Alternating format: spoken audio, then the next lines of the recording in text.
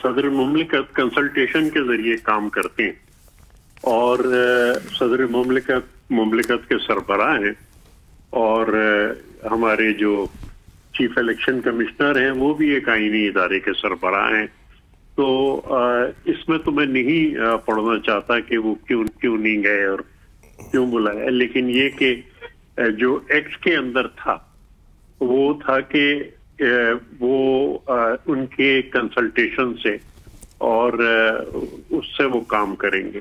उसको हमने कहा कि जी क्योंकि वो जो है मतलब इलेक्शन कराना तो वही नब्बे दिन के अंदर है।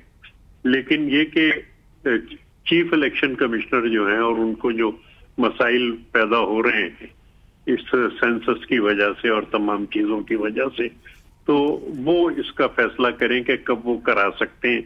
लेकिन बहरहाल इलेक्शन नब्बे दिन के अंदर ही होगा।